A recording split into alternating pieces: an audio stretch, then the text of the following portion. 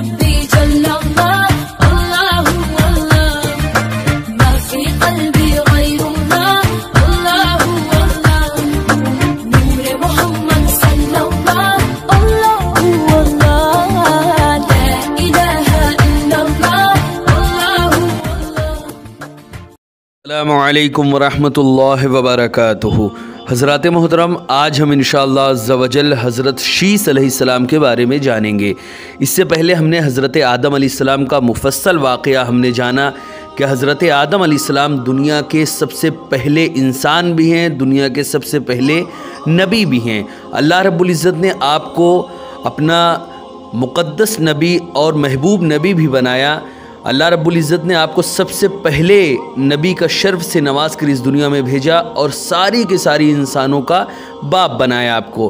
हज़रत मोहतरम, यहाँ पर इस बात को भी हम जान गए कि जो कुछ लोगों की गलत फहमी है कि आदि मानव की औलाद पूरी दुनिया है या मैमल्स वगैरह से वजूद में आई है पूरी दुनिया, और हज़रत आदम सलाम के कॉन्सेप्ट को वो लोग गलत मानते हैं, वो भी हम जान गए कि कुरान हदीस से कैसे साबित है कि हज़रत आदम सलाम ही दुनिया के पहले इंसान हैं और आज इस पूरी दुनिया में कोई भी इंसान ऐसा नहीं है जो हज़रत आदम सलाम की औलाद ना हो, क्योंकि सारे के सारे इंसान हज़रत आदम सलाम की ही औलाद हैं और हज़रत आदम सलाम ही सबके बाप हैं। हज़रत मोहतरम, आज हम इन शजल हज़रत आदम सलाम के बाद जो नबी हुए सबसे पहले नबी, हज़रत आदम के बाद जो सबसे पहले नबी हुए, उनका नाम है हज़रत शीस अलैहिस्सलाम हज़रत शीस अलैहिस्सलाम के बारे में आज हम जानेंगे। वीडियो पसंद आए तो वीडियो को लाइक करें, शेयर करें और अगर हमारे मोहम्मदी चैनल पर नए आए हों तो इसे ज़रूर सब्सक्राइब करके बेल आइकन को भी ज़रूर दबाएँ ताकि इस तरह की तमाम इन्फॉर्मेटिव वीडियोज़ आप तक ज़रूर पहुँचे। आपसे गुजारिश है कि हमारे चैनल पर जितनी भी वीडियोज़ हैं, हज़रत आदम पर हमने जितने भी एपिसोड्स बनाए हैं, वो सारे के सारे एपिसोड्स हमारे इसी मोहम्मदी चैनल पर हैं, जाएँ और उसको देखें। इन शवजल हज़रत आदम सलाम के बारे में अज़ इब्तदा, ता इंतहा सारी बातें इन शवजल आप ज़रूर जान जाएँगे। आज हम इन शवजल हज़रत शीसम के बारे में जानते हैं। हज़रत मोहतरम, जैसा कि आप लोगों को मालूम है कि हज़रत हवा 20 या फिर 40 मरतबा हज़रत आदम सलाम से हमला हुई। हर हमल में दो बच्चे पैदा हुए। एक मुजक्कर और एक मुन्नस यानी एक मर्द और एक औरत। एक हमल के बच्चों का, दूसरे हमल के बच्चों का ऐसा हुक्म था जैसा कि मुख्तलिफ़ माँ बाप के बच्चों का होता है। यानी पहले हमल के बच्चे का दूसरे की बच्ची से निकाह होता, इसी तरह दूसरे हमल के लड़के का पहले हमल की लड़की से निकाह होता। यही सिलसिला जारी रहता। यहाँ पर एक बात और जहन नशी कर ले कि हज़रत आदम अलैहिस्सलाम के दो दो बच्चे हर हमल से पैदा हुए।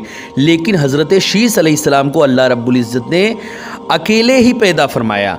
हज़रत शीस अलैहिस्सलाम को अकेले ही पैदा फरमाया। हज़रत हवा ने हज़रत शीश को सिर्फ़ अकेला ही पेश किया। उनके साथ जुड़वा कोई बच्ची नहीं थी। ये सिर्फ़ हुजूर रसूल अक्रम वसल्लम की इज़्ज़तों, तकरीम के लिए मालिकुल मुल्क ने एक बच्चे से ही हमला किया, क्योंकि हुजूर रसूल अक्रम वसल्लम का नूर हज़रत आदम आसमाम से मुंतकिल होकर हज़रत शीश के पास आ गया। हज़रत मोहतरम, हज़रत आदम आसमाम ने उन्हें यह वसीयत की कि ये नूर मुबारक, यानी हज़रत शीसम को यह वसीयत की थी कि यह नूर मुबारक पाक औरत की तरफ़ मुंतकिल करना है। फिर हज़रत शीसम ने अपने बेटों को यही वसीयत की। ये सिलसिला हज़रत अब्दुलमतलब तक चलता रहा कि हर शख्स ने अपने बेटों को इस नूर के पाक बतन की तरफ़ मुंतकिल करने की वसीयत की। हज़रत मोहतरम, हज़रत शीसम के बाद हज़रत हज़रत इदरीस हुए, लेकिन अब सबसे पहले हम हज़रत शीसम के बारे में जानेंगे। हज़रत मोहतरम, हज़रत हज़रत शीस सलाम का जो नाम है, शीस, इसका माना होता है अतिया रब्बानी। उनकी वजह तस्मिया यह है कि अल्लाह ताला ने हाबील के कत्ल के बाद हज़रत आदम और हज़रत हवा रदी अल्लाह तहा को उस साल बेटे को की सूरत में नेक बदला अता किया। इसीलिए हज़रत शीस शीश का मतलब होता है अल्लाह का गिफ्ट, अल्लाह का तोहफ़ा। चूँकि काबिल ने जब हाबील को कत्ल कर दिया, उसके बदले हज़रत आदम आसमाम बहुत ज़्यादा उदास और गमगीन रहते थे। फिर अल्लाह रब्ज़त ने हज़रत शीश को बतौर तोहफ़ा अल्लाह ताला ने हज़रत आदम को अता फ़रमाया। हज़रत मोहतरम हज़रत अबू ज़र से रवायत है कि हुजूर रसूल अकरम वसल्लम ने फरमाया, अल्लाह ने 104 सहाइफ उतारे, उनमें से पाँच सहाइफ उनमें से 50 सहाइफ हज़रत शीस अलैहिस्सलाम पर नाजिल फरमाए। मोहम्मद बिन इसहाक अलैह फरमाते हैं, जब हज़रत आदम अलैहिस्सलाम की वफ़ात के वक्त करीब आया तो आपने अपने बेटे हज़रत शीस अलैहिस्सलाम से एक अहद लिया, उनसे एक वादा लिया और उन्हें रात दिन के अवकात यानी इबादत की तालीम दी और बताया कि फ़ुला वक्त में कौन सी इबादत होगी और उन्हें यह भी बताया कि मेरे जाने के बाद एक बहुत बड़ा तूफ़ान आएगा। हज़रत मोहतरम, मोहम्मद बिन इसहाक का कहना है कि तमाम औलाद, जितनी भी औलाद आदम है, उनका सिलसिला नसब हज़रत शीस अलैहिस्सलाम से ही जा मिलता है, क्योंकि आपकी बाकी तमाम औलाद से नस्ल नहीं चल सकी। सब की सब तूफ़ान नूह में नीस तो नाबूद हो गई। हज़रत मोहतरम हज़रत शीस अलैहिस्सलाम को अल्लाह रब्बुल इज़्ज़त ने नबूत से नवाजा और साथ ही साथ हज़रत शीस अलैहिस्सलाम पर अल्लाह ने पचास सहाफ़ नाजिल फरमाए। हज़रत शीस अलैहिस्सलाम अपने दावत तबलीग और दीनी खिदमत के साथ साथ भाग दौड़ का जो दुनियावी उमूर थे, उनको भी अंजाम देते थे। हज़रत आदम की वफ़ात के बाद उमूर दुनिया की बागडोर हज़रत शीस अलैहिस्सलाम ने ही संभाली। हज़रत शीस अलैहिस्सलाम एक अल्लाह के बहुत बड़े नबी थे, जैसे कि हदीस में गुजर चुका है। और इबन हिब्बान ने अपनी सही में हज़रत अबू ज़र से रवायत किया कि आप पर पचास सहाफ़ नाजिल हुए थे, जैसा कि मैंने अभी ज़िक्र किया। जब हज़रत शीस अलैहिस्सलाम की रहलत हुई, यानी उनका इंतकाल का वक्त आया तो उनकी जगह उनके बेटे अनूश ने ले ली। हज़रत शीस अलैहिस्सलाम ने उन्हें नेकी और अदलो इंसाफ के क़्याम की वसीयत भी फरमाई थी। अनूश के बाद कैनैन फिर उनके बेटे महलाइल। महलाइल के मुतालिक फ़ारस के अजमी लोग कहते हैं कि वो सात अकालीम के बादशाह थे। महलाइल ही वो पहले शख्स हैं जिन्होंने दरख्त काटे, शहरों की बुनियादें डाली और बुलंद किले भी इन्होंने ही तामीर किए। और साथ ही साथ ये भी कहा जाता है कि बाबुल का शहर उन्हीं का बसाया हुआ जो कि इराक में है। इसी तरह सूसे अक्सा के, सूसे अक्सा के शहर की बुनियाद भी उन्होंने ही डाली थी। उन्होंने ही इबलीस और उसके लश्कर पर सख्ती भी फरमाई थी और उन्हें ज़मीन के अतराफ़ और पहाड़ी दरों में मार भगाया था। और बहुत सारे बागी और काफिर जिन उनके हाथों मौत के घाट भी उतर गए थे। उनके सर पर एक ताज भी होता था और वो लोगों को खिताब करते थे। उनकी हुकूमत चालीस साल तक कायम रही। महलाइल के बाद हफ़्ता कालीम के खिलाफत उनके बेटे यर्द के हाथ आई। जब उनकी वफ़ात का वक्त करीब आया तो उन्होंने अपने बेटे खनूक की वसीयत फरमाई और हुकूमत उनके सुपुर्द कर दी। और खनूक जो हैं, हज़रत इदरीस के नाम से मशहूर हैं। यानी यर्द के बेटे खनूक है, जो कि हज़रत इदरीस अलैहिस्सलाम के नाम से वो मशहूर हैं। इन इसके बाद वाला एपिसोड हम हज़रत इदरीस अलैहिस्सलाम के ही बारे में जानेंगे कि हज़रत इदरीस अलैहिस्सलाम को अल्लाह रब्बुल इज़्ज़त ने कैसे नबूत अता फरमाई। हज़रत मोहतरम, यहाँ पर अब मैं एक बात और ज़िक्र करता चलूँ कि हज़रत शीस अलैहिस्सलाम की मज़ार कहाँ पर है। इसके बारे में बहुत सारा इख्तलाफ है कि हज़रत शीस की मज़ार आखिर कहाँ है। लेकिन जो कई सारी रिवायतों में से एक रिवायत जो बहुत ज़्यादा मशहूर भी है, वो ये है कि हज़रत शीस की मज़ार हिंदुस्तान यानी इंडिया में ही एक शहर, यानी हिंदुस्तान के ही एक स्टेट, उत्तर प्रदेश के एक शहर अयोध्या में वाक़ है, जो कि एक बहुत ही मशहूर कौल इस जानब भी बहुत बहुत सारे रावियों का कौल इस जानब भी है कि अयोध्या में ही उनकी मज़ार मौजूद है। इसी तरह और भी कई सारे रावियों ने मुख्तलिफ़ कौल भी किया है, किसी ने किसी मकाम पर तो किसी ने किसी मकाम पर। इसी तरह हज़रत आदम सलाम के बारे में भी है कि उनकी मज़ार भी हिंदुस्तान के जिस पहाड़ के पास उनको उतारा गया था, उसी के पास में ही उनकी मज़ार मौजूद है। लेकिन एक रिवायत में ये भी है कि जब तूफ़ान नूह आया था तो हज़रत नूह अलैहिस्सलाम आप के जसद मुबारक को ले जाकर बैतुलमुक़द्दस में दफन कर दिया था। ये भी एक कौल मौजूद है। हज़रत मोहतरम, अब हम ये समझेंगे कि आखिर हज़रत शीस अलैहिस्सलाम को अल्लाह रब्बुल इज़्ज़त ने जब पैदा फरमाया तो उसकी क्या वजह आई?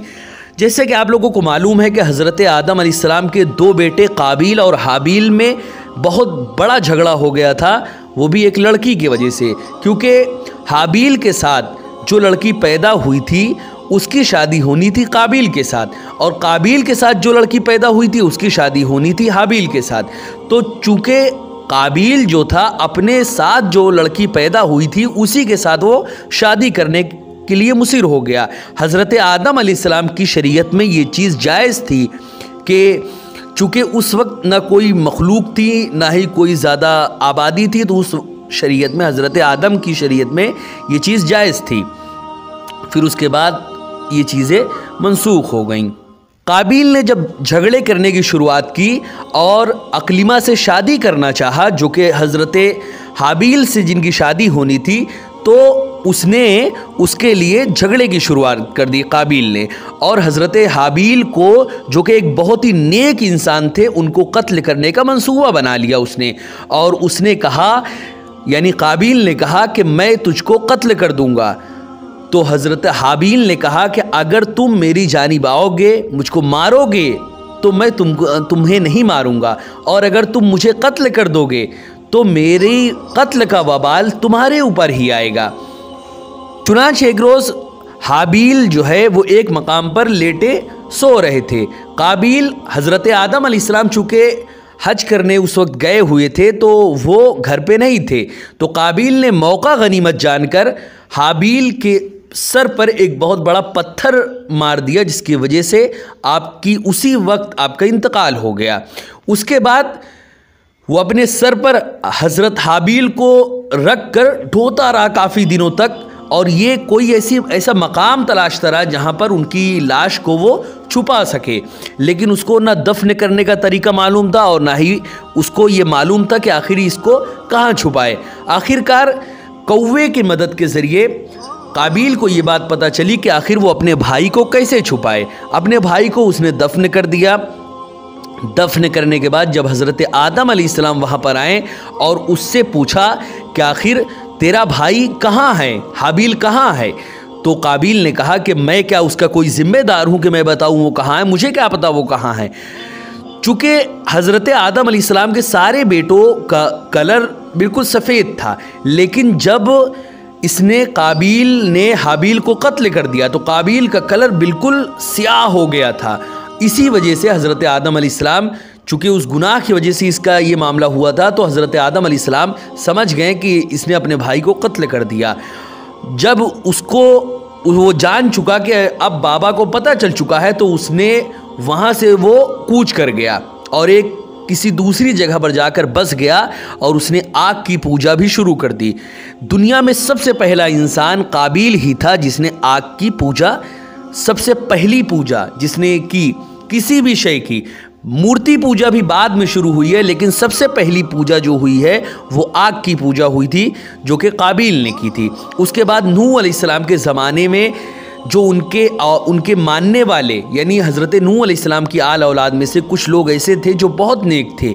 तो उनके ज़माने से जो है वो मूर्ति पूजा की पत्थरों की पूजा की शुरुआत हज़रत नू अलैहिस्सलाम के ज़माने से हुई, लेकिन उससे पहले ही आग की पूजा की शुरुआत हो गई थी। जब ये उधर गया और उधर चला गया तो हज़रत आदम अलैहिस्सलाम हज़रत काबिल के कत्ल करने के बाद जब हाबिल को इसने कत्ल कर दिया तो हाबिल की याद में हज़रत आदम अलैहिस्सलाम बहुत ज़्यादा गमगीन रहते थे और हर वक्त गमजदा रहते थे और इनको काफ़ी सालों तक ये गमगीन रहे। आखिरकार अल्लाह रब्बुल ने इनको मुजदा खुशखबरी का सुनाया और तोहफ़े के तौर पे हज़रत शीस अलैहिस्सलाम को अता फरमाया। हज़रत शीस अलैहिस्सलाम एक ऐसे नबी थे जिनके बारे में और भी बहुत सारी बातें मशहूर हैं। हज़रत आदम सलाम, हज़रत शीस सलाम से जन्नत की बातें बताते रहते थे कि जन्नत में वो कैसे रहें, जन्नत में क्या क्या वाक़ात पेश आए कैसे कैसे मामला पेश है जन्नत में, वो सारी बातें हज़रत आदम सलाम, हज़रत शीस को बताते रहते थे। इसी तरह हज़रत आदम सलाम के बाद वो सारा मामला नबूत का हज़रत शीस सलाम ने उठाया और बतरीक अहसन उन तमाम चीज़ों को अंजाम दिया। हज़रत शीस एक ऐसे अल्लाह के नबी थे कि उन पर पचास साहब जब नाजिल हुए तो उन्होंने अपनी पूरी ज़िंदगी अल्लाह रसूल अल्लाह का पैगाम और हज़रत आदम आसमाम की नसीहत के तहत उन्होंने गुजारी। हज़रत आदम आसमाम ने हज़रत शीस आसमाम को जिन जिन चीज़ों की वसीयत की थी और नसीहत की थी, उसी के मुताबिक उन्होंने अपनी ज़िंदगी गुजारी और उनके बाद उन्होंने अपने बेटे और उन्होंने अपने बेटे को यही चीज़ों की नसीहत की। बिला आखिर हज़रत इदरीस सलाम का दौर शुरू हुआ। इन शजल नेक्स्ट एपिसोड में हम हज़रत इदरीस सलाम के बारे में जानेंगे कि हज़रत इदरीस सलाम ये शीस सलाम के कौन से बेटे थे और इनको नबूत कैसे मिली और इनके क्या क्या शान है और उनके कौन कौन से फ़ज़ाइल अल्लाह रब्बुल ने कुरान में या अहादीस में वारिद हुए हैं, उन तमाम बातों को हम जानेंगे। वीडियो पसंद आए तो वीडियो को लाइक करें, शेयर करें और अगर हमारे मोहम्मदी चैनल पर नए आए हों तो इसे ज़रूर सब्सक्राइब करके बेल आइकन को भी ज़रूर दबाएँ, ताकि इस तरह की तमाम इन्फॉर्मेटिव वीडियोज़ आप तक ज़रूर पहुँचे। असल वरहमल वर्का